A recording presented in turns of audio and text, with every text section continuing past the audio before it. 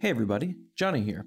In this quick tip video, I'm going to show you how you can use geometry node attributes in your cycles shaders. So here I have a grid, it has a geometry node setup on it, it also has a simple material added to it.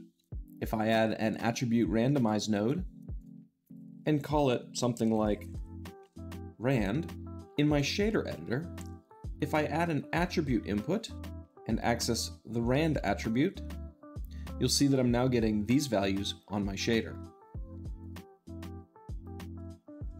Similarly, if I added a sample texture node, you'll see that those values are used in the shader.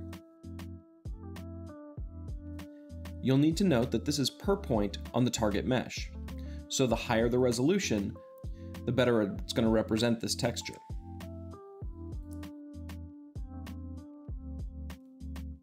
One instance where this is really interesting is with the attribute proximity node. Here, my grid is the geometry for the attribute proximity.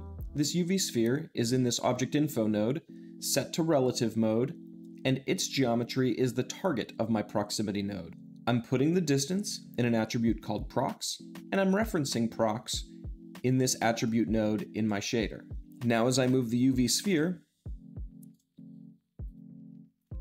you can see the effect on the target mesh. By assigning an attribute color ramp node, not only could I output a grayscale,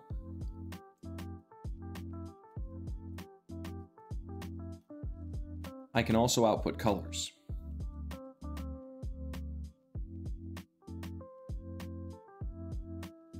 I hope this gives you some ideas, and I hope it inspires you to make something awesome.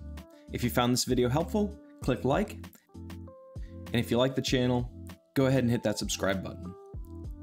I'll see you next time.